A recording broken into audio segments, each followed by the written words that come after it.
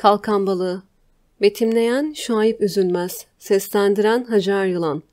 Arka planı olmayan dikdörtgen imajlı bir kalkan balığı var. Balık sağa bakacak şekilde fotoğraf yatay olarak çekilmiş. Kalkan balığının gövdesi merkezinde en geniş halinde. Kuyruğuna ve başına gittikçe gövdesi inceliyor.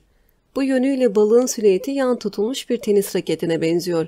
Balığın vücudunda tamamen koyu renkler hakim. Gövdesinde aralıklarla nispeten büyük pek çok turuncu nokta yer alıyor. Balığın kafası gövdesinde bir çıkıntı yapmış uzun yatay yelpaze şeklindeki solungacıyla birleşerek maça sembolüne benzer bir hal almış. Balığın kafasının ucunda ağzının hemen arkasında ufak siyah, parlak badem şeklindeki gözleri var. Gözlerden birinin üstünden başlayan bir çıkıntı ise balığın gövdesinin ortasından kuyruğuna kadar devam edip balığı ikiye bölmüş. Üst bölmede kalan gözün bir kısmı yassı bir şekilde arkada kalmış. Balığın kahverengi ağzı hafifte açılmış.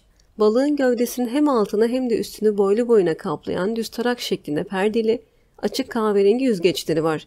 Yüzgeçler merkezde dışarı doğru bomba yaparken kenarları doğru incelmiş.